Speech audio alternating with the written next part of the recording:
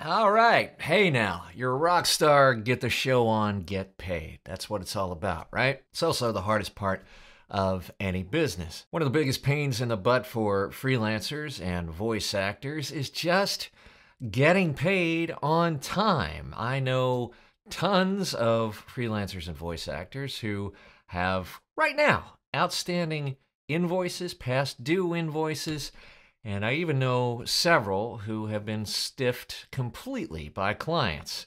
It's rare, but it happens. Now, today we're going to talk about how to manage your billing practices so that you minimize the risk to your own business while still maintaining a positive relationship with your clients, but most importantly, you get paid on time. Now, as freelancers, we wear all the hats. We're the artists and the business people. We're sales and production we're billing and collections. So when a client is uh, slow or a bad pay, God forbid, that puts us in a really awkward spot. Yeah, we do need to collect on the invoice and get our money, but at the same time, we also want to and need to maintain a positive relationship with the client in most cases. Now, the practice of getting paid on time starts way before you ever send the bill it starts with setting proper expectations with the client before you even have an agreement in place. Getting paid on time starts with the quote. Now, it's never too early to start setting proper expectations with the client, and that will do two things. Number one, it will minimize potentially negative surprises down the road as it regards billing and payment. But number two, it also gives you room to positively surprise the client down the road with billing and payment. Now, again, the time to start setting expectations with the client, especially a new client, one you've never worked with before, billed before, is with the quote. If I'm working with a new client, I make sure that I state my policies up front, especially the policy that new and international clients are paid upfront. Meaning, if you're a new domestic client or an international client outside the US, for me, I get paid before delivering the files. Now, this policy does three things. Number one, it sets proper expectations way early for the client so that they don't get surprised later on when they get the bill before the files. Secondly, it allows me to mitigate the risk with new and international clients, so hopefully things don't come back to bite me in the butt later. Third, it allows me a little wiggle room so that I can choose to waive those policies if the client is larger, better known, or if I see the potential for a really great long term partnership by stating my policy clearly and way in advance, way up front, I retain the right to enforce that policy or not, and it may give me a bargaining chip in negotiations when it comes to rates a little bit later. For example, the client may offer me a slightly lower rate than I'm comfortable with.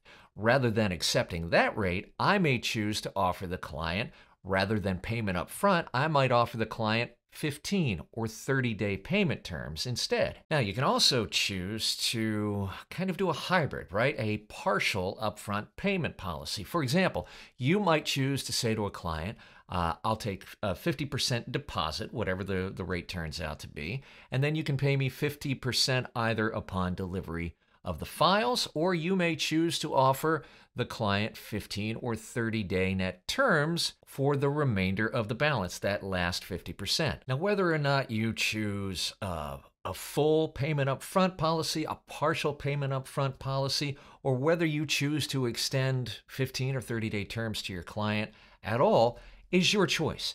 It's your business and you get to make that call. But regardless of what policy you put in place with that client, you need to be clear, way up front, way in advance, ideally with the quote, so that you're setting proper expectations for that client when it comes to billing and payment. Now, because the payment policy and billing policy is so closely tied to what you're delivering, what you're providing to your client, you also need to set clear expectations around the timeline and the deliverables that you will be providing to your client. For example, you'll want to be clear in writing when you expect to receive the final script, when you expect to turn around and deliver the final files, how long the client expects to take for approval and any pickup or revision requests. The clearer and more proactive you are up front, the better expectations you'll set with the client, both in terms of how you expect to be paid and how you expect to provide the service to the client. Now, the next question I always get is Do I have to provide a formal contract with every job? And while I'm not a lawyer, and this is not legal advice, the way I run my business is if it's a simple one off project, then in most cases, email will suffice. Email, generally, in the United States at least, stands up in court with this stipulation. You do have to be clear and specific uh, with regards to the details, things like usage, term, payment terms, uh, revision and pickups policies, etc. All of that has to be clear in writing in the body of the email, and most importantly, the scope of the project. That is, exactly what you're contracting and agreeing with the client to do as part of this project. Now, you can feel free to uh, pull that content, adapt it for your own business, and use it on your website, but I urge you to have your attorney review and perhaps help you with any policies you publicly state on your website. And lastly, you should have a standard boilerplate formal contract generated or at the very least reviewed by your attorney for large and complex jobs, things like recurring work or retainer work, anything where it's just not a simple one off project and a more formal contract is appropriate. So, the clearer we can be as an industry and as a group of service providing professionals to our clients, the better service that we can provide to them, and the better we will mitigate risks in our own businesses. Now, for domestic clients with whom I already have a, a, a, good relationship with, I've built them before, we've worked together, we know each other, we have a really, really well developed partnership, I may offer 15 or 30 day uh, terms for those clients, which is pretty standard. Now, some clients may ask for net 60 or net 90 day terms, meaning you may not get paid for up to 60 or 90 days after they receive your invoice. And ironically, it's often the larger enterprise size clients that ask you for these kinds of terms. Personally, as a single person, one man freelance business, I choose not to shoulder the risk for enterprise level clients who ask me for 60 or 90 day terms. There's really no reason it should take 60 or 90 days, especially in an age of electronic payment where payment is often made uh, within the hour, within the day, or within the week. There's no real reason that they have to ask you for 60 or 90 days. They do it because they want to use their leverage and perceived buying power. You know what? We're big, you're little, we're going to dictate the terms.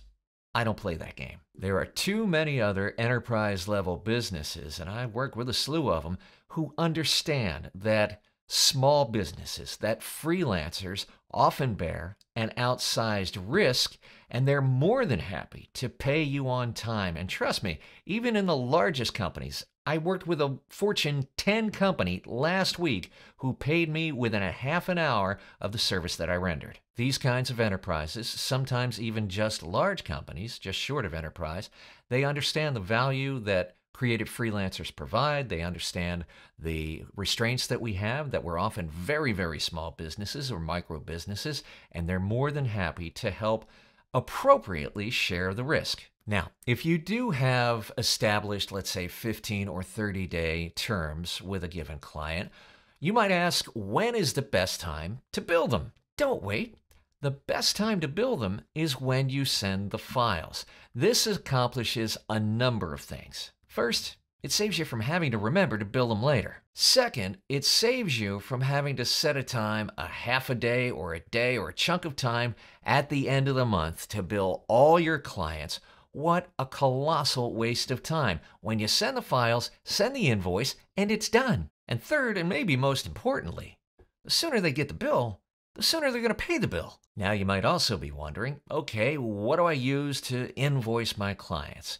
And here you got a lot of choices. For example, your accounting software, your bookkeeping software, things like QuickBooks or uh, Wave apps, they often have invoicing functions right within your software that will integrate seamlessly with the rest of your accounting. Also, some CRMs like uh, HubSpot and Nimble have invoicing capabilities and functions right within their software.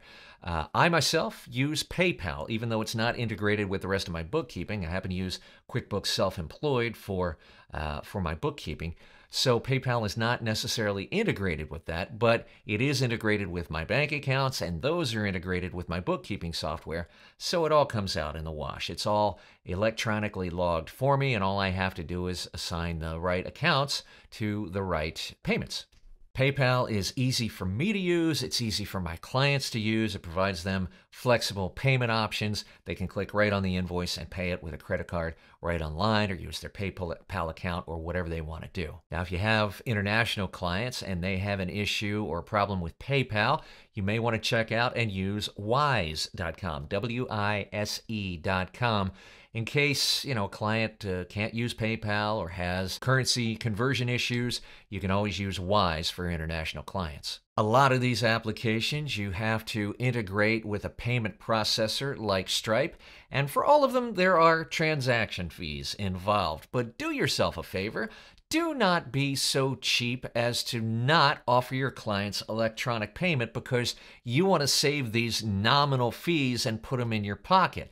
Baseline expectation is they expect to be able to click on an invoice and pay it quickly and easily. So, setting up electronic payments options for your clients will not only satisfy their expectations and their make make their life easier, but will also get you paid faster. And isn't that what it's all about? Now some clients, and again for whatever reason it's usually the large enterprises, oftentimes have very onerous vendor onboarding procedures and tons of paperwork. I myself have spent up to an hour sometimes filling out paperwork and providing everything they need for their accounting people to generate payment. It's often a pain in the dupa, but it's often also necessary. My point to you is you may want to reach out to your client if you're working with a large enterprise and find out how much work is involved to be onboarded as a vendor. Of course, you'll want to offer to Make sure that that process is as easy as possible from your end. Provide them and their accounting team everything that they need to do their jobs so that you can get paid on time. Is it more work? Yes, more work up front. Hopefully, less work to actually collect the invoice when it's due. Now, I've only had fire one client who, the first two times I worked with them, went past 60 days both times. They were dark, they were unresponsive, and I eventually had to fire them. I've been lucky in my entire career. I've never been completely stiffed by a client, mainly because I try to set proper expectations as early as possible and try and manage those expectations and work with clients and try to get as much communication back and forth as I possibly can. If the client does have an issue and I know about it and they're communicative, oftentimes I will work with them and be patient with them. And that's why I generally don't get stiffed, and that's why I generally get paid on time. Now, the overall idea is the more clear, the more proactive, the more preventative you can be up front, the less risk you will expose yourself to when it comes to billing and payment down the road. Are you well trained and passionate about voiceover, but still struggle to book consistently and make consistent income? Click the link in the description or show notes below for the VO Freedom Master Plan.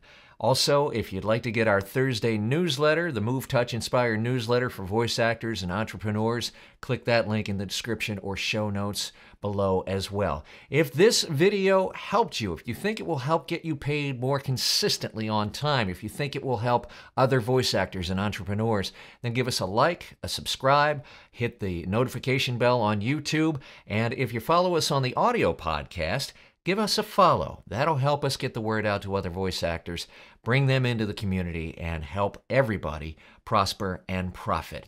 Thank you so much for your support. We'll see you back here next week, and have a great and lovely week.